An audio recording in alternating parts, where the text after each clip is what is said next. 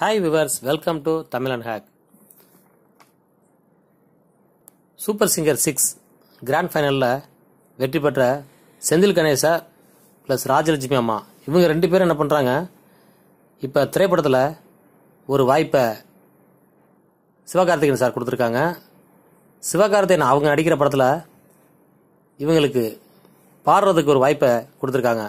D Imman இசையில். இந்த படம் நிச்சயமாக ஒரு பிரம்மாண்டமான ஒரு வெற்றியை தரும்னு இந்த படக்குழுவோட சேர்ந்து செந்தில் கணேசரோடைய ரசிகர்களாக எல்லாரும் எதிர்பார்க்குறாங்க. இந்த படம் வெற்றியடைய நம்ம வாழ்த்துவோம்.